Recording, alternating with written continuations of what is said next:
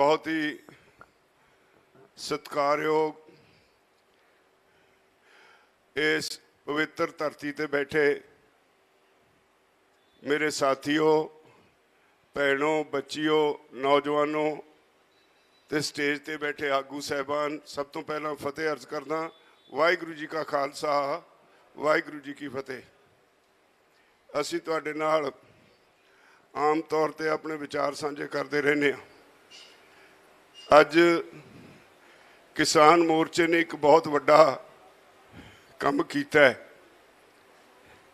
ਸਾਰੇ ਇਲਾਕੇ ਲਈ ਤੇ ਤੁਹਾਡੇ ਲਈ ਦੇਸ਼ ਦੇ ਉੱਚ ਕੋਟੀ ਦੇ ਡਾਕਟਰਾਂ ਦੀ ਮਦਦ ਨਾਲ ਇੱਥੇ ਮੈਡੀਕਲ ਕੈਂਪ ਲਾਇਆ ਹੈ, ਜਿਹਦੇ ਵਿੱਚ ਡਾਕਟਰ ਤਰਲੋਚਨ ਸਿੰਘ ਕਲੇਰ, ਜਿਹੜੇ ਕਿਸੇ ਪਛਾਣ ਦੇ ਮੁਤਾਜ ਨਹੀਂ ਜਿਨ੍ਹਾਂ ਨੂੰ ਪਦਮ ਵਿਭੂਸ਼ਣ ਅਵਾਰਡ ਮਿਲਿਆ। ਇਹਨਾਂ ਵੀ ਨਹੀਂ, ਇਹਨਾਂ ਦੀ ਸ਼੍ਰੀਮਤੀ ਵੀ ਦੇਸ਼ 'ਚ ਪਹਿਲਾ ਹੀ ਡਾਕਟਰ ਜੋੜਾ ਹੈ, ਜਿਨ੍ਹਾਂ ਨੂੰ ਦੋਹਾਂ ਨੂੰ ਪਦਮ ਵਿਭੂਸ਼ਣ ਅਵਾਰਡ ਮਿਲਿਆ।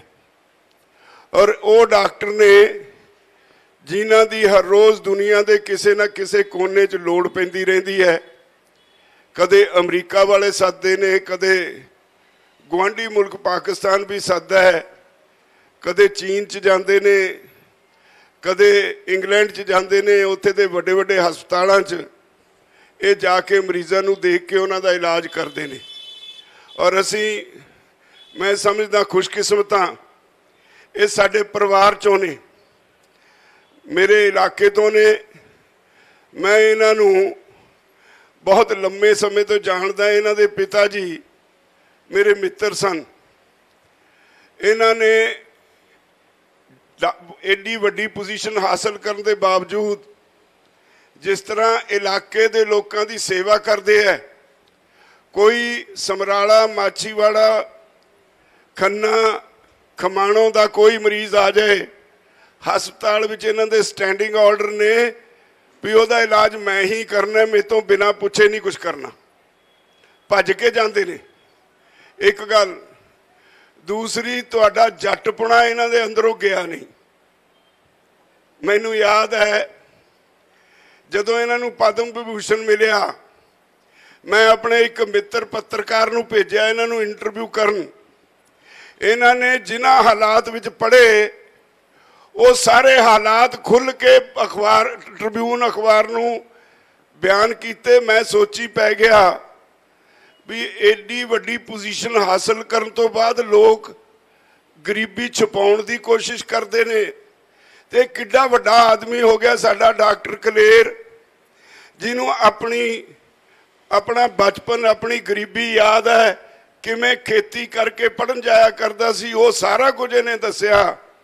ਤੇ ਅੱਜ ਇੱਥੇ ਕੈਂਪ 'ਚ ਆਏ ਨੇ, ਕੈਂਪ ਲਾਇਆ ਆਪਣੀ ਪੂਰੀ ਡਾਕਟਰਾਂ ਦੀ ਟੀਮ ਲੈ ਕੇ ਆਏ ਨੇ। ਫੋਲਟੀਜ਼ ਹਸਪਤਾਲ ਨੇ ਜਿਹੜੇ ਉਹਨਾਂ ਦੇ ਸਾਰਿਆਂ ਦੇ ਇਹ ਚੇਅਰਮੈਨ ਨੇ। ਇੱਥੇ ਆ ਕੇ ਇੱਕ ਵਾਰੀ ਮਾੜਾ ਜਿਹਾ ਕਿਹਾ, ਤੁਰੰਤ ਇਹ ਕਹਿੰਦੇ ਮੈਂ ਆਉਣਾ ਬਲਕਿ ਇਹ ਤੋਂ ਬਿਨਾ ਵੀ ਮੈਂ ਪਿਛਲੇ ਦਿਨੀ ਬਿਮਾਰ ਸੀ, ਮੈਂ ਤਾਂ ਸਾਰੀ ਉਮਰ ਦਾ ਪਰਮਨੈਂਟ ਮਰੀਜ਼ ਹੈ, ਇਹਨਾਂ ਦਾ 92 ਤੋਂ ਲੈ ਕੇ ਇਹੀ ਬਚਾਈ ਤੁਰੇ ਫਿਰਦੇ ਨੇ ਦਵਾਈਆਂ ਦੁਈਆਂ ਦੇ ਕੇ, ਨਹੀਂ ਤਾਂ ਕਦੋਂ ਦਾ ਭੋਗ ਪੈ ਗਿਆ ਹੁੰਦਾ। ਤਾਂ ਮੈਂ ਥੋੜੀ ਜੀ ਇਹਨਾਂ ਨੂੰ ਗੱਲ ਕੀਤੀ ਵੀ ਡਾਕਟਰ ਸਾਹਿਬ ਕੈਂਪ ਲਾਉਣਾ ਹੈ, ਕਹਿੰਦੇ ਮੈਂ ਤਾਂ ਆਪ ਆਉਣਾ ਚਾਹੁੰਦਾ ਉੱਥੇ। ਤੋਂ ਅੱਜ ਸਵੇਰ ਦੇ ਮਰੀਜ਼ਾਂ ਨੂੰ ਦੇਖੀ ਜਾ ਰਹੇ ਨੇ, ਇਹਨਾਂ ਦੇ ਸਾਥੀ ਉੱਥੇ ਲੱਗੇ ਹੋਏ ਨੇ ਦੇਖਣ ਨੂੰ। ਤੇ ਮੈਂ ਤਾਂ ਇਹਨਾਂ ਦੀ ਇੰਟਰੋਡਕਸ਼ਨ ਦੇਣ ਲਈ ਤੁਹਾਡੇ ਸਾਹਮਣੇ ਖੜਾ ਹੋਇਆ ਸੀ। ਹਾਂ, ਇੱਕ ਗੱਲ ਮੈਂ ਹੋਰ ਤੁਹਾਨੂੰ ਕਹਿ ਕੇ ਖਿਮਾ ਚਾਹਾਂਗਾ। ਰਾਤੀ ਇੱਥੇ ਇੱਕ ਲੰਗਰ ਚੱਗ ਲੱਗੀ ਹੈ। ਮੈਨੂੰ ਲੱਗਦਾ ਆਪਾਂ ਸਾਰਿਆਂ ਨੇ ਆਪੋ ਆਪਣੇ ਟੈਂਟਾਂ ਦੇ ਵਿੱਚ, ਆਪਣੇ ਜਿਹੜੇ ਘਰ ਬਣਾਏ ਆ, ਉਹਨਾਂ ਦੇ ਵਿੱਚ ਕੂਲਰ, ਪੱਖੇ ਬਹੁਤਾਂ ਹੀ ਏਸੀ ਲਾਏ ਹੋਏ ਨੇ। ਔਰ ਹੋਰ ਵੀ ਬਿਜਲੀ ਦਾ ਲੋਡ ਬਹੁਤ ਜ਼ਿਆਦਾ ਹੈ, ਪਰ ਕਈ ਵਾਰੀ ਅਸੀਂ ਤਾਰ ਮਾੜੀ ਪਾ ਲੈਨੇ ਆ ਰਾਤ ਦਾ ਜਿਹੜਾ ਹਾਦਸਾ ਹੋਇਆ ਮੈਨੂੰ ਲੱਗਦਾ ਉਹ ਮਾੜੀ ਤਾਰ ਹੋਣ ਕਰਕੇ ਸਪਾਰਕਿੰਗ ਨਾਲ ਉਹ ਹਾਦਸਾ ਵਾਪਰਿਆ ਮੇਰੀ ਬੇਨਤੀ ਆ ਵੀ ਇਹਦਾ ਧਿਆਨ ਰੱਖੋ, ਇੱਕ ਗੱਲ। ਦੂਸਰਾ, ਸਾਰੇ ਆਪੋ ਆਪਣੇ ਕੈਂਪ 'ਚ ਪਾਣੀ ਤੇ ਰੇਤਾ। ਥੋੜਾ ਬਹੁਤਾ ਆਪਣੇ ਕੋਲੇ ਜਮਾ ਰੱਖੋ ਕਿਉਂਕਿ ਗਰਮੀ ਬਹੁਤ ਹੈ। ਗਰਮੀ ਆਪਣੇ ਆਪ 'ਚ ਇੱਕ ਤਰ੍ਹਾਂ ਦੀ ਅੱਗ ਵਰਦੀ ਹੈ। ਫਿਰ ਜਿਸ ਤਰ੍ਹਾਂ ਦੇ ਅਸੀਂ ਇਹ ਆਪਣੇ ਟਿਕਾਣੇ ਬਣਾਏ ਆ ਬਾਂਸ ਨਾਲ ਜਾਂ ਉੱਤੇ ਪਰਾਲੀ ਪਾ ਕੇ, ਇਹ ਬਹੁਤ ਜ਼ਿਆਦਾ ਜਲਨਸ਼ੀਲ ਨੇ, ਖਤਰਾ ਰਹਿੰਦਾ ਹਰ ਵੇਲੇ। ਤੋ ਇਸ ਲਈ ਮੇਰੀ ਤੁਹਾਨੂੰ ਬੇਨਤੀ ਹੈ ਵੀ ਆਪੋ ਆਪਣਾ ਪ੍ਰਬੰਧ ਪਹਿਲੇ ਹੀ ਕਰਕੇ ਰੱਖੋ ਤਾਂ ਕਿ ਬਚਾਅ ਹੋ ਸਕੇ। ਦੂਸਰੀ ਗੱਲ 22 ਤਾਰੀਖ ਤੋਂ ਅਸੀਂ 17 ਨੂੰ ਇੱਕ ਨਵਾਂ ਕੰਮ ਕਰ ਰਹੇ ਹਾਂ। ਅੱਜ ਤੱਕ ਇਸ ਦੇਸ਼ ਦੇ ਇਤਿਹਾਸ ਵਿੱਚ ਨਹੀਂ ਹੋਇਆ। ਪਾਰਟੀਆਂ ਆਪਣੇ ਐਮਐਲਏ ਐਮਪੀਆਂ ਨੂੰ ਵਿਪ ਜਾਰੀ ਕਰਿਆ ਕਰਦੀਆਂ ਨੇ। ਪਰ ਇਹਨਾਂ ਨੂੰ ਬਣਾਉਣ ਵਾਲੇ ਤਾਂ ਲੋਕ ਨੇ। ਪਹਿਲੀ ਵਾਰੀ 17 ਤਾਰੀਖ ਨੂੰ ਅਸੀਂ ਪਾਰਲੀਮੈਂਟ ਦੇ ਮੈਂਬਰਾਂ ਨੂੰ ਪਬਲਿਕ ਵਿਪ ਜਾਰੀ ਕਰਾਂਗੇ। ਪਬਲਿਕ ਵਿਪ ਜਾਰੀ ਕਰਕੇ ਕਹਾਂਗੇ ਭਈ ਅੰਦੋਲਨ ਨੂੰ 7.5 ਮਹੀਨੇ ਹੋ ਗਏ ਚੱਲਦੇ ਆ।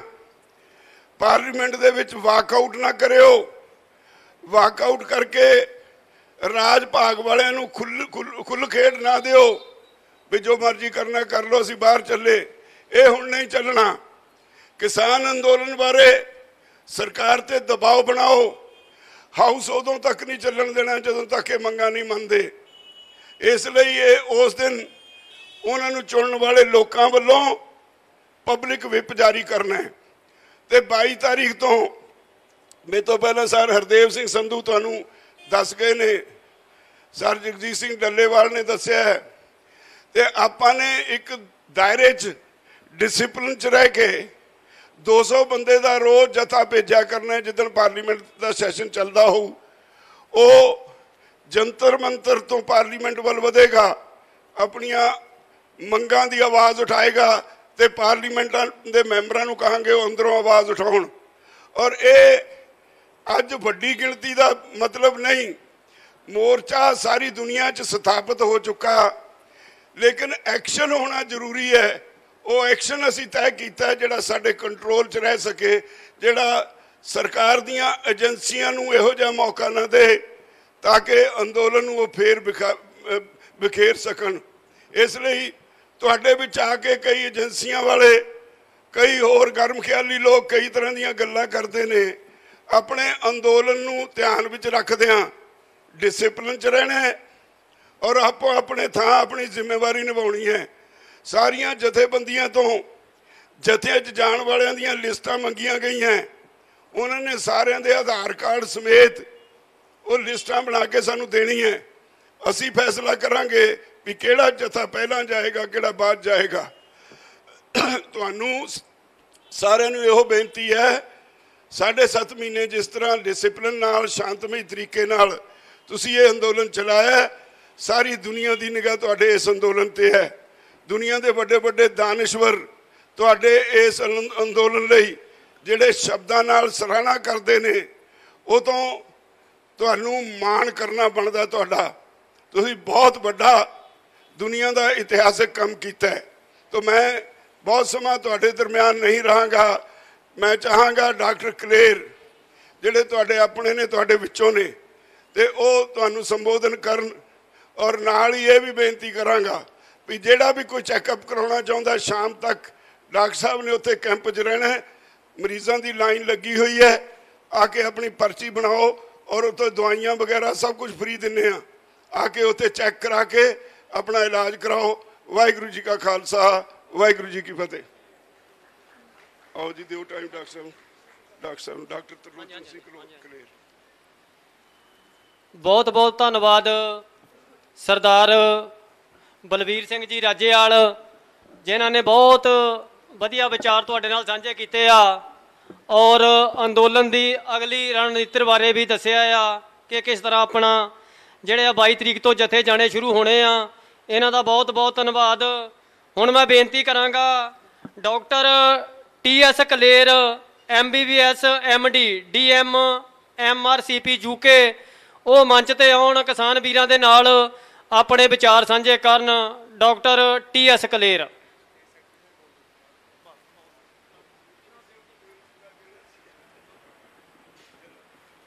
Shri Waheguru ji ਦਾ ਖਾਲਸਾ ਵਾਹਿਗੁਰੂ ਜੀ ਦੀ ਫਤਿਹ। ਸਭ ਤੋਂ ਪਹਿਲਾਂ ਮੈਂ ਮੇਰੇ ਅਜ਼ੀਜ਼ ਰਾਜੇਵਾਲ ਸਾਹਿਬ ਡਾਕਟਰ ਬਲਵੀਰ ਉਹਨਾਂ ਦਾ ਧੰਨਵਾਦ ਕਰਦਾ ਹਾਂ। ਉਹਨਾਂ ਨੇ ਮੈਨੂੰ ਮੌਕਾ ਦਿੱਤਾ ਕਿ ਤੁਹਾਡੇ ਨਾਲ ਆ ਕੇ ਮੈਂ ਕੁਝ ਸਮਾਂ ਬਿਤਾ ਸਕਾਂ। ਹਾਲਾਂਕਿ ਜਿਹੜਾ ਮੇਨ ਮੇਰਾ ਪਰਪਸ ਹੈ ਉਹ ਮੈਡੀਕਲ ਚੈੱਕਅਪ ਹੈ। ਮੈਂ ਡਾਕਟਰ ਹਾਂ। ਲੇਕਿਨ ਮੈਂ ਜ਼ਰੂਰ ਚਾਹੁੰਦਾ ਸੀਗਾ ਕਿ ਮੈਂ ਤੁਹਾਡੇ ਨਾਲ ਵੀ ਅੱਛਾ। ਕਿ ਮੈਂ ਤੁਹਾਡੇ ਨਾਲ ਆ ਕੇ 2 ਮਿੰਟ ਵਾਸਤੇ ਆਪਣਾ ਖਿਆਲ ਸ਼ੇਅਰ ਕਰ ਸਕਾਂ। ਦੇਖੋ, ਦੋ ਤਿੰਨ ਚੀਜ਼ਾਂ ਮੈਂ ਕਹਿਣਾ ਚਾਹੁੰਦਾ ਤੁਹਾਨੂੰ ਕਿ ਸਾਨੂੰ ਲੋਕਾਂ ਨੂੰ ਤੁਹਾਡੀ ਸਿਹਤ ਦੀ ਬੜੀ ਫਿਕਰ ਹੈ ਔਰ ਜਿਸ ਤਰ੍ਹਾਂ ਦਸੰਬਰ 'ਚ, ਜਨਵਰੀ 'ਚ ਤੁਸੀਂ ਲੋਕ ਬਾਹਰ ਬੈਠੇ ਸੀ ਤੇ ਮੈਂ ਹਰ ਰੋਜ਼ ਅਖਬਾਰ ਪੜ੍ਹਦਾ ਸੀਗਾ ਕਿ ਕਿਸ ਤਰ੍ਹਾਂ ਤੁਸੀਂ ਆਪਣਾ ਆਪ ਨੂੰ ਠੀਕ ਰੱਖਿਆ, ਸਿਹਤ ਰੱਖੀ ਹੈ। ਇਹ ਤਾਂ ਤੁਹਾਡੀ ਮੈਨੂੰ ਲੱਗਦਾ ਕਿ ਵਾਹਿਗੁਰੂ ਵੱਲੋਂ ਇੱਕ ਰੈਜ਼ਿਸਟੈਂਸ ਹੈ ਜਿਹੜੀ ਕਰਕੇ ਬਚੇ ਹੋਏ ਹੋ। ਨਹੀਂ ਤਾਂ ਇਹਨਾਂ ਹਾਲਾਤਾਂ 'ਚ ਔਰ ਜਦੋਂ ਕੋਵਿਡ ਚੱਲਿਆ ਹੋਇਆ ਸੀਗਾ, ਇਹ ਤੋਂ ਬਚਣਾ ਬਹੁਤ ਮੁਸ਼ਕਲ ਹੁੰਦਾ ਹੈ। ਸੋ ਪਹਿਲੀ ਗੱਲ ਤਾਂ ਮੈਂ ਤੁਹਾਨੂੰ ਚਾਰ ਗੱਲਾਂ ਦੱਸਣੀਆਂ ਚਾਹੁੰਦੀਆਂ ਕਿ ਆਪਾਂ ਇਸ ਬਿਮਾਰੀ ਤੋਂ ਬਚਣਾ ਹੈ। ਉਹਦੇ ਚਾਰ ਤਰੀਕੇ ਹੈ। ਇੱਕ ਤਰੀਕਾ ਇਹ ਸਭ ਤੋਂ ਪਹਿਲਾਂ ਕਿ ਜਦੋਂ ਵੀ ਤੁਹਾਨੂੰ ਵੈਕਸੀਨ ਦੀ ਸੁਵਿਧਾ ਮਿਲਦੀ ਹੈ, ਤੁਸੀਂ ਵੈਕਸੀਨ ਲਵਾਓ। ਵੈਕਸੀਨ ਦੀ ਕੋਈ ਕੰਟਰਾ ਇੰਡੀਕੇਸ਼ਨ ਨਹੀਂ, ਕੋਈ ਹਰ ਆਦਮੀ ਨੂੰ ਵੈਕਸੀਨ ਲਗਾਉਣਾ। ਚਾਹੇ ਹਾਰਟ ਦੀ ਬਿਮਾਰੀ ਹੈ ਚਾਹੇ ਕੋਈ ਹੋਰ ਬਿਮਾਰੀ ਹੈ, ਚਾਹੇ ਤੁਸੀਂ ਬਲੱਡ ਥਿਨਰ ਲੈ ਰਹੇ ਹੋ, ਚਾਹੇ ਤੁਸੀਂ ਕੋਈ ਵੀ ਬਿਮਾਰੀ ਹੈ, ਕੋਈ ਪ੍ਰੋਬਲਮ ਨਹੀਂ ਹੈ, ਤੁਸੀਂ ਵੈਕਸੀਨ ਲੈਣਾ ਹੈ ਵੈਕਸੀਨ ਦੀ ਕੋਈ ਕੰਟਰਾ ਨਹੀਂ ਹੈ, ਕੋਈ ਉਮਰ ਦੀ ਤਕਲੀਫ ਨਹੀਂ ਹੈ 80 ਸਾਲ ਹੈ ਚਾਹੇ 90 ਸਾਲ ਹੈ ਵੈਕਸੀਨ ਲੈਣਾ ਹੈ। ਨੰਬਰ 1 ਨੰਬਰ 2 ਜੋ ਤਿੰਨ ਪ੍ਰਿੰਸੀਪਲ ਨੇ ਆਪਣੇ ਨੂੰ ਪ੍ਰੀਵੈਂਸ਼ਨ ਵਾਲੇ, ਇੱਕ ਤਾਂ ਇਹ ਹੈ ਕਿ ਜਦੋਂ ਵੀ ਤੁਸੀਂ ਕਰਾਊਡ 'ਚ ਜਾਣਾ ਤੁਸੀਂ ਮਾਸਕ ਪਹਿਨਣੀ ਹੈ। ਤੇ ਮੈਂ ਦੇਖ ਰਿਹਾ ਇੱਥੇ ਬਹੁਤ ਲੋਕਾਂ ਨੇ ਮਾਸਕ ਨਹੀਂ ਪਹਿਨੀ ਹੋਈ। ਨੰਬਰ 1 ਨੰਬਰ 2 ਜਿੱਥੇ ਤੱਕ ਵੀ ਹੋ ਸਕੇ 2 ਗਜ਼ ਦੀ ਦੂਰੀ ਰੱਖਣੀ ਹੈ। ਨੰਬਰ 3 ਜਦੋਂ ਵੀ ਤੁਸੀਂ ਕਿਸ ਚੀਜ਼ ਨੂੰ ਹੱਥ ਲਗਾਉਂਦੇ ਹੋ, ਉਹਨੂੰ ਸਾਬਣ ਨਾਲ ਧੋ ਲਓ। ਬਸ ਤਿੰਨ ਚੀਜ਼ਾਂ ਦਾ ਧਿਆਨ ਰੱਖਣਾ ਹੈਗਾ।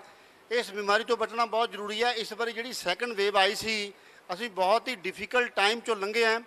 ਬਹੁਤ ਹੀ ਲੋਕਾਂ ਦੀ ਮੌਤ ਹੋਈ ਹੈ। ਯੰਗ ਲੋਕਾਂ ਦੀ ਮੌਤ ਹੋਈ ਹੈ।